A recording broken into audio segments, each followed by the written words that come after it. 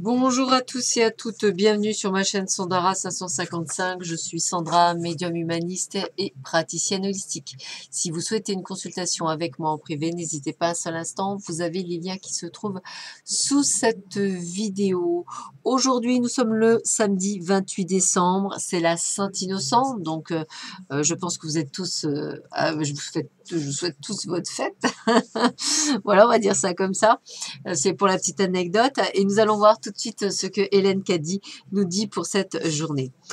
Qu'il y ait unité dans la diversité, voit les nombreux chemins qui mènent tous au centre. À moi, chacun différent et pourtant chacun conduisant dans la même direction.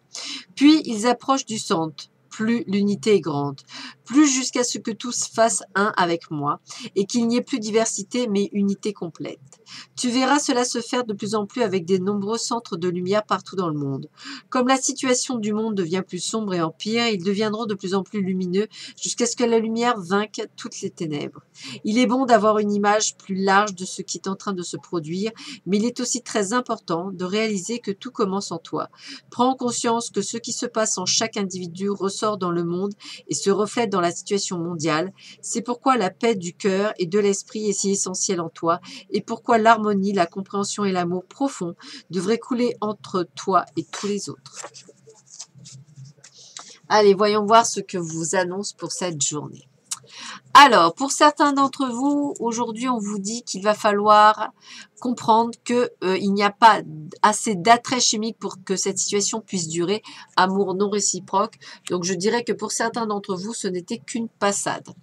Pour d'autres, on vous dit de garder à l'esprit l'esprit ouvert parce que votre âme sœur peut être différée du type de personne que vous espérez rencontrer. Et pourtant, ce sera la bonne personne. Donc, gardez l'esprit ouvert.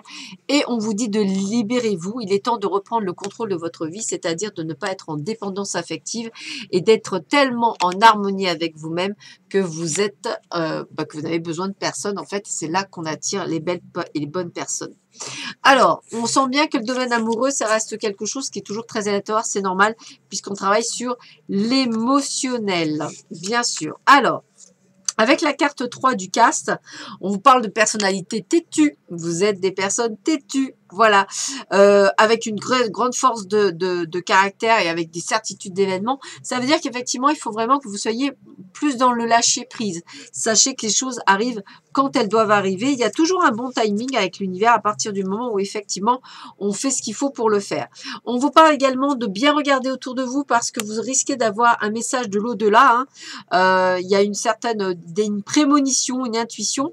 Ça peut aussi annoncer des luttes et des querelles, donc faites bien attention. En tous les cas, ouvrez les yeux et votre, votre, cœur pour effectivement euh, prendre en compte le message de l'univers. Et puis, on vous parle encore bien de message des luminaires parce que on parle de rêve prémonitoire, on vous parle de rêve divinatoire également et on vous demande de bien suivre votre voix intérieure parce qu'elle est importante, elle vous apportera un message qui est très très important pour la suite. On continue. Alors, on vous parle euh, d'une personne euh, de plus de 65 ans euh, de votre entourage. donc peut-être peut-être que quelqu'un viendra vous donner conseil, peut-être que c'est quelqu'un à qui il faut penser, peut-être à quelqu'un qu'il faut se méfier. Dans tous les cas, on vous en parle. peut-être aussi voilà de vous dire qu'effectivement vous avez euh, peut-être de par vos, grands-parents ou votre grand-père des capacités divinatoires. Euh, on parle de médiumnité, hein, c'est tout à fait possible de prendre conscience de vos aptitudes. Euh, je vais aller plus loin pour certains d'entre vous, quelque chose qui peut être récurrent dans votre famille. Hein. Et puis on vous dit que la réussite est là et présente dans tous vos objectifs, dans tous vos projets. C'est la carte du triomphe. Donc si vous souhaitez vous mettre à votre compte dans par exemple les arts divinatoires, eh bien c'est un grand oui et c'est un re oui. Voilà.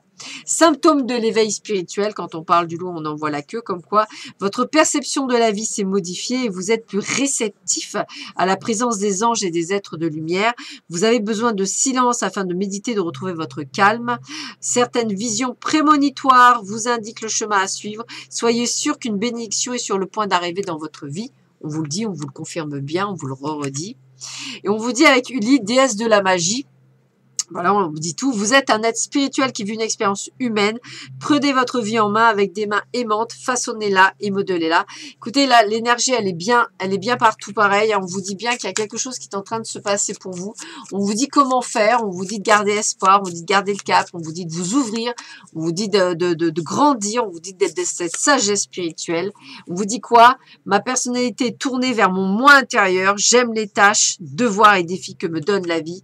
Voilà, on change d'optique. C'est un grand, grand changement, une grande libération spirituelle. Accueillez, accueillez mes amis.